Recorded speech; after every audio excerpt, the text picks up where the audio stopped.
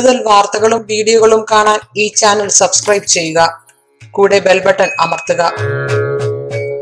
നമസ്കാരം. വാവുബലി കറുത്ത വാവ്.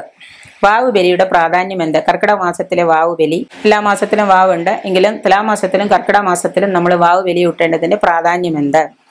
കർക്കിടക മാസം വാവ് ബലിയും തമ്മിൽ ഒരുപാട് ബന്ധമുണ്ട്. അമേധ്യമായൊരു ബന്ധം തന്നെയുണ്ട്. പ്രപഞ്ചത്തിലെ പാതാളം മുതൽ സത്യലോകം വരെ പതിനാല് ലോകങ്ങളിലും മധ്യഭാഗത്ത് ഭൂമി ഭൂമിക്ക് മുകളിൽ നേർമുകളിലായിട്ട് ഭൂവർ ലോകം ആകാശത്തിലായിട്ട് അതിനു മുകളിൽ സ്വർഗലോകം ഇങ്ങനെയാണ് നമ്മൾ പറയുന്നത്. ഈ ഭൂവർ ലോകം ഭൂമിക്കും ആകാശത്തെ സ്വർഗലോകത്തിനും നടുക്കിലായിട്ട് ഭൂവർ ലോകത്തിലാണ് പിതൃക്കൾ വസിക്കുന്നു എന്നാണ് പറയപ്പെടുന്നത്. ഈ പിതൃക്കൾ വസിക്കുന്ന ലോകം മുഴുവനും സ്വർഗം ദേവന്മാരുടെയൊക്കെ ലോകമായിട്ട് നമ്മൾ പഞ്ചഭൂതങ്ങളിൽ അങ്ങനെയൊക്കെ പറയപ്പെടുന്നുണ്ട്. പഞ്ചഭൂതങ്ങളിൽ ഭൂമി ഏറ്റവും സ്ഥൂലമാണ്. ഭൂമി എന്ന് പറഞ്ഞാൽ അത് സ്ഥൂലമാണ്.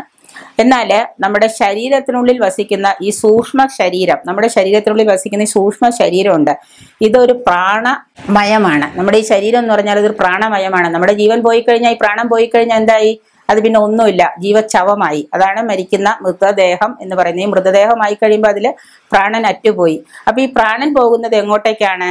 ഈ ഭൂവർ ലോകത്തിലേക്കാണ് പ്രാണൻ പോകുന്നത്. അപ്പൊ അങ്ങനെ ഈ പോകുന്ന പ്രാണൻ ശരീരം വിടുന്ന ജീവൻ ഈ പ്രാണൻ എന്താണ് പ്രാണൻ മാത്രമായി മാറും. ശരീരത്തിൽ നിന്ന് പ്രാണൻ പോയി കഴിഞ്ഞാൽ പിന്നെ അത് പ്രാണൻ മാത്രമായി മാറും. അതാണ് പിന്നെ നമ്മൾ എന്ത് ചെയ്യുന്നത്? പിതൃക്കളായിട്ട് കണക്ക് കൂട്ടുന്നത് ഈ സ്ഥൂല ദേഹമില്ലാത്തവനായി പിതൃലോകത്തിൽ വസിക്കുന്ന പിതൃക്കൾക്ക് എന്താണ്? ജലത്തിലൂടെ മാത്രമേ എന്ത് ഭക്ഷിക്കാൻ കഴിയൂ? ആഹാരം ഭക്ഷിക്കാൻ കഴിയുന്നു. ഈ സ്ഥൂല ശരീരം ഇല്ല. അപ്പൊ ശരീരം ഉണ്ടെങ്കിൽ നമുക്ക് വായിലൂടെയൊക്കെ ഭക്ഷണം കഴിക്കാം. അത് പോയി. പിന്നെ നമുക്കുള്ളത് പ്രാണനാണ്. ഈ പ്രാണനാണ് നമ്മൾ എന്ത് ചെയ്യുന്നത്? ഭൂവർ ലോകത്തിൽ വസിക്കുന്ന പിതൃക്കളായിട്ട് സങ്കല്പിച്ച് അവർക്ക് നമ്മൾ എന്ത് കൊടുക്കുന്നത്? ഭക്ഷണം കൊടുക്കുന്നത്. ആ ഭക്ഷണം കഴിക്കണമെങ്കിൽ ഈ പ്രാണനാകുന്ന സ്ഥൂല ശരീരത്തിന് എന്ത് വേണം?